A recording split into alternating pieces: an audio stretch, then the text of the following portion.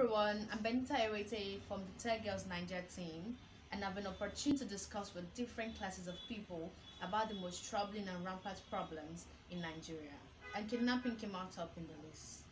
So in this video, I'll briefly be stating the security challenges and troubles the average Nigerian faces and to prefer a solution to it. Please stay tuned. Security is really one of the essential needs of a Nigerian, be it a traveler or not.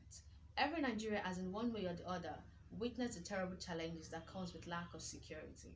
We've heard of our own being killed on the way to their various destinations, some kidnapped and others used for money rituals. It is quite alarming that for many years now this poses to be a striking problem in our country and nothing has been said or done to curtail it. The many travelers of the average Nigerian traveler are the struggles we have to face at every journey we have to take. A good number of the average Nigerian traveler has been faced with so many negative things such as kidnapping, abduction, robbery, and even death.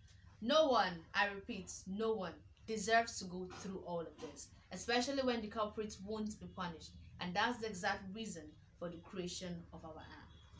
This app is used to alert security agents when there's an emergency, such as kidnapping, armed robbery, or banditry attacks while in transit.